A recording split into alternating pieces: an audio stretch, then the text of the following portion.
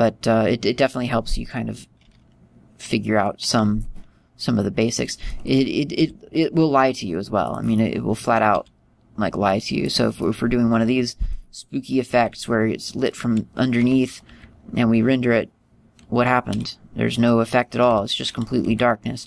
Well, that's because this is an area light and it's not casting light back upwards. It's, it's not programmed that way. Now, if we had a different light doing that same thing, it would, it would have a different effect. But, so you can't rely on the, on the, on the textured view, but it's not a, a bad tool to, to know about either. Okay, so there are couple of things that you can change about the light as well. And before we do anything more, let's actually, first of all, get that